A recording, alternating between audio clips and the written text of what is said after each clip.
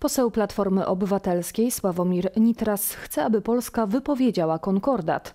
Umowa między Rzeczpospolitą Polską a Stolicą Apostolską reguluje między innymi możliwość uznania przez państwo ślubów kościelnych.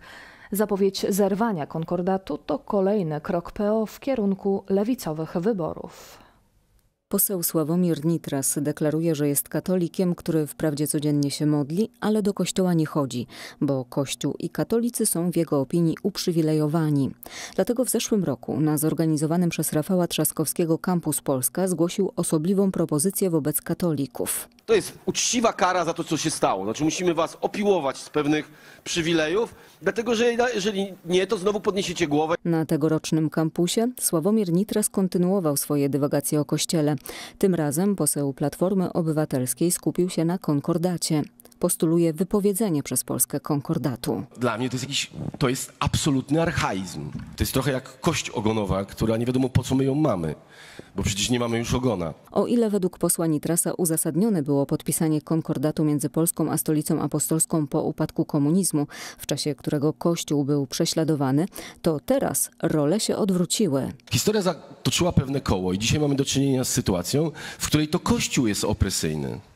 To Kościół dzisiaj mówi, e, ogranicza prawa jednostki. Opresyjność Kościoła ma polegać m.in. na braku akceptacji dla sodomii czy zabijania dzieci poczętych.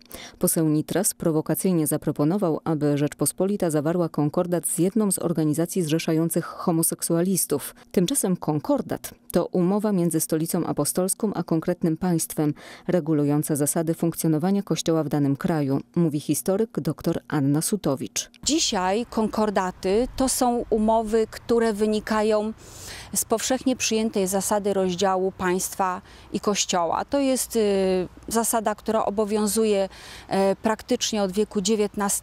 Polska zawarła konkordat ze stolicą apostolską w 1925 roku. Tuż po II wojnie światowej komuniści jednostronnie wypowiedzieli umowę.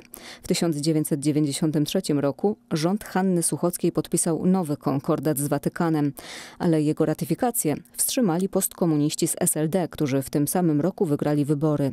Dopiero po zwycięstwie AWS Sejm w 1998 roku zaakceptował umowę ze stolicą apostolską. Teraz lewica i jak się okazuje PO chcą zerwać konkordat. Platforma Obywatelska coraz mocniej ściga się z lewicą o elektorat, zauważa Bartosz Brzyski. Chce po prostu bardziej konsumować ten elektorat lewicowy, wiedząc, że po ten prawicowy nie za bardzo może sięgnąć, więc po prostu to jest e, granie na mobilizację tego elektoratu lewicowego, e, na to, aby właśnie lewica, partia, lewica czy partia razem, wszystkie te, te stronnictwa osłabły. Dziś większość polityków PO opowiada się za ideologią gender, aborcją na życzenie czy przywilejami dla homoseksualistów. Tymczasem w deklaracji ideowej Platformy Obywatelskiej z 2010 roku czytamy: Będziemy bronić praw religii, rodziny i tradycyjnego obyczaju, bo tych wartości szczególnie potrzebuje współczesna Europa.